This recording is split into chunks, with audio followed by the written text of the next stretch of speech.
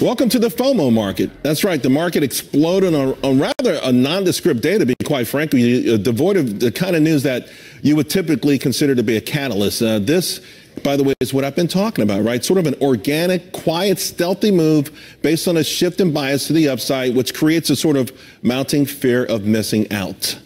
Financials finally beginning to live up to their hype, rallying uh, with rising treasury yields. Big money center banks, uh, big money uh, central banks, though, I got to tell you, not really acting that great. It's the regional banks that led the charge. The best performing sector, though, and I keep bringing it to your attention. I even mentioned it again last night. The materials, that's right, dirty fingernails, folks. Now, I think value investors should be looking there. Uh, I think there's going to be some merger activity there. Uh, and I also think, by the way, going back to banks, the community banks also will see some, uh, uh, they already have seen some merger activity. That could also happen to regionals. Now, consumer discretionary, another area where I've been pounding the table, continues to rock. Uh, the investors, I think, right now, bottom fishing in that space. Mattel, Harley Davidson were higher. After the close, five below, if you shop there and you don't own the stock, you're going to be pretty upset up about 14% right now. The stock would be up 140% from the low back in January of last year. Meanwhile, the trade deficit declined on record U.S. exports, $211 billion. And believe it or not, Goldman Sachs, they're seeing 3.8% growth this quarter. Joining us now, Melissa Armo, Stock Swoosh, Sean Gilani back again. Melissa, you've been my skeptic. Um, you've been worried about a few things. We surged into the close. We're above a number I thought was pivotal. You still think 26,000 or something is the number to get through? I'm being conservative, and here's why. We got a lot going on in the next week. We have the G7 on Friday and Saturday, and then Monday, or no, it's Tuesday of next week, is the North Korea meeting. So as long as we hold, as long as the control stays on the side of the bulls, we're going to fly through that area. We're going to even fly through the area that I said, and we could we could even see new highs. But that would be that would mean that we would have such a rally in the next six to 12 months that would Give be us like an example then. Seen. If we break out through 26,000, if we break out through the old high from January, yeah. where could we go? 30,000 in the Dow, 30,000 in the S&P, and I'm telling you Trump gets all the credit. Shah?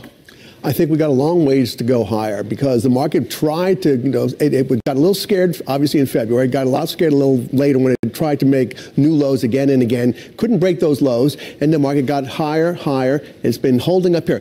I agree with you. We, we've talked about numbers above 25,000 on the Dow. I think if the market consolidates here, it could go a good bit higher. I agree with Melissa on that. S&P above 2750, where it is now, it's 2772 close today. Stays above 2750. It's got a long way to go higher. It's going to consolidate here and go higher. It's, it's tested the lows and the market couldn't do anything with it. So now the clearest path, easiest path forward is higher. And I think people should know there's more to this market than, than the, the high flying tech names. I know that the media, particularly financial media, talks about it.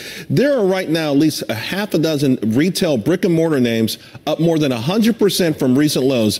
This five below is going to be up probably 150% in a year and a half. This is mind boggling stuff. I remember when no one was buying these stocks.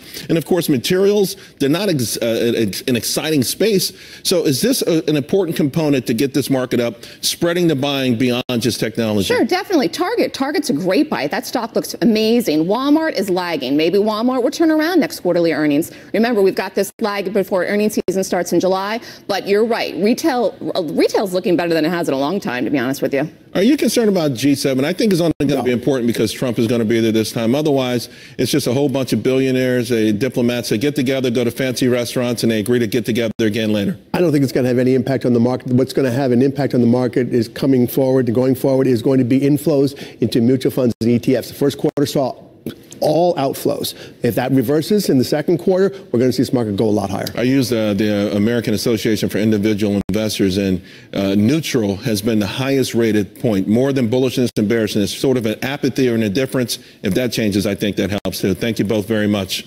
Well, President Obama may, may have been so eager to secure a deal with Iran that he was willing to give Tehran, uh, Tehran access to our U.S. financial system. This is after that infamous nuclear deal. Wait till you hear the details on this. We're talking about $6 billion that we almost washed. We'll be right back.